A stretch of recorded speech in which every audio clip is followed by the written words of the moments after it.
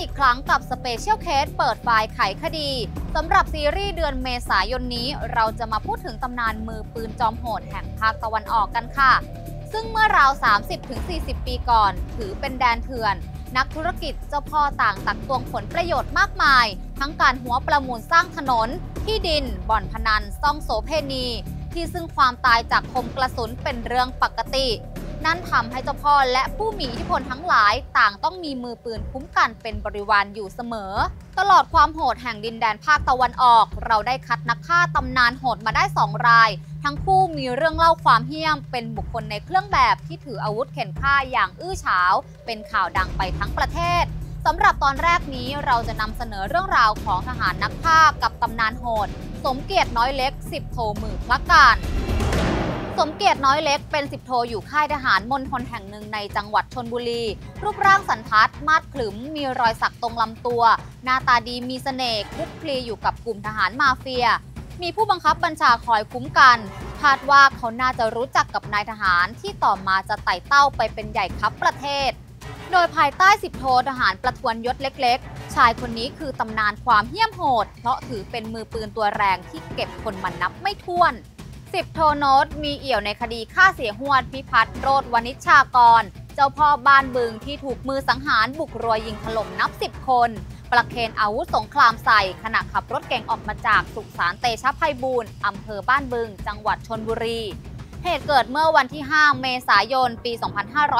2532 ว่ากันว่าสมเกียรติน้อยเล็กอยู่เบื้องหลังความโหดนี้ด้วย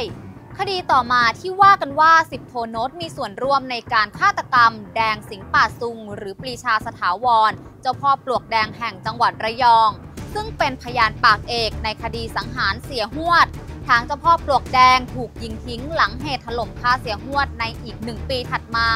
สองเหตุการณ์นี้ส่งให้ชื่อของสิบโทโนตถูกจับตามองจากเจ้าพ่อทั้งหลาย ที่เริ่มจะหวั่นเกรงในฝีมือโหดของเขา คือการเป็นมือปืนในเครื่องแบบ ทำให้ทางเจ้าหน้าที่บ้านเมืองยังจับตาสิบโทโนตสังกัดสารวัตรทหารคนนี้ด้วย เพราะเขาเอาเวลานอกราชการมารับงานเป็นฆาตกร แม้เจ้าตัวจะตกเป็นผู้ต้องสงสัยในคดีเสียหวด และเจ้าพ่อปลวกแดง แต่ตำรวจไม่อาจตั้งข้อหาเขาได้ เนื่องจากว่าสิบโทโนตมีนายปกป้อง ในฐานะทหารคนที่มีสี แต่วิธีซึ่งยุคนั้นเหล่ามือปืนชอบใช้กันก็คือ หลังยิงเสร็จจะเอาปืนไปเปลี่ยนเข็มแทง ชนวนที่ร้านปืนที่ไว้ใจ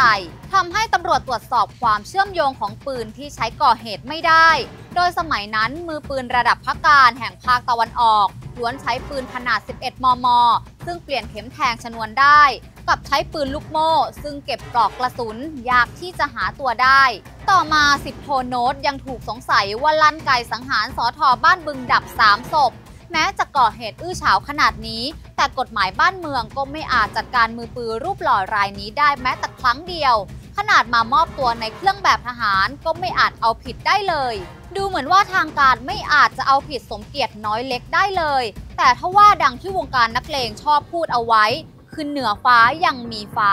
สิบโทโนตมีพฤติกรรมชอบหักหลัง เอาความลับคนที่ตัวเองไปอยู่ด้วย ไปบอกอีกคน นั่นทำให้ไปลงตัวกับความต้องการของผู้บังคับใช้กฎหมายสีเทา ที่อยากจะเก็บมือปืนรายนี้ ขณะที่เจ้าพ่อคนอื่นๆ ก็อยากจะยิงมือปืนตัวแรงนี้ด้วย เจ้าพ่อกับทางการจึงเห็นพ้อง และเมื่ออำนาจแห่งรัฐจัดการไม่ได้ ก็ต้องใช้อาญาเถื่อน นั่นทำให้วันที่ 22 มีนาคมปี 2536 ตำรวจรับแจ้งพบศพชาย 3 คนถูกยิงทิ้ง โดยโดนมัดมือมัดเท้าที่ริมถนนสายท่ามะปราง วัดโป่งก้อนเศร้าอำเภอแก่งคอยจังหวัดสระบุรีหนึ่งใน3ศพนั้นคือสิบคนโนตนั่นเอง ว่ากันว่าชุดเด็ดหัวสิบโทรายนี้มีความคุ้นเคยกับมือปืนในคราบทหารเป็นอย่างดี เพราะไม่อย่างนั้นคงไม่อาจถึงตัวพาลงจากรถแล้วล็อกตัวไปอุ้มยิงทิ้งได้อย่างแน่นอน ร่ำลือกันว่าสิบโทโนตที่ว่าแน่ก็ยังเสียเหลี่ยมให้กับชายคนนี้ทางชุดสืบสวนเชื่อว่ารถที่ 10 โทโนตนั่งมาได้เจอกับด่านลอยของตำรวจ ซึ่งหัวหน้าที่คุมรู้จักกับเขาเป็นอย่างดี จึงเบาใจกว่าจะรู้ตัวว่าจะเกิดอะไรขึ้นก็สายไปเสียแล้ว รูปแบบการตั้งด่านลอยอุ้มคนนี้จะเป็นลักษณะพิเศษของหัวหน้าชุดนายตำรวจระดับสารวัตรฉายาเพชรทัศน์หน้าหยก ด้วยความขาวหน้าตาดีมีเสน่ห์เขาคือผู้ปลิดชีพ10โทโนตปิดตำนานสมเกียรติน้อยเล็กไปอย่างง่ายดายบุรุษผู้สังหารสิบโทโนตรายนี้เราจะมาพูดถึงในตอนถัดไป เขาคือนายตำรวจชื่อดังที่ร่วมก่อเหตุเที่ยมหลายคดี แต่ละเหตุการณ์ลือลั่นไปทั้งประเทศ ชื่อของเขาก็คือพันตำรวจโทพันศักดิ์มงคลศิลป์เราจะมาฟังเรื่องราวของเขาในตอนหน้ากันค่ะ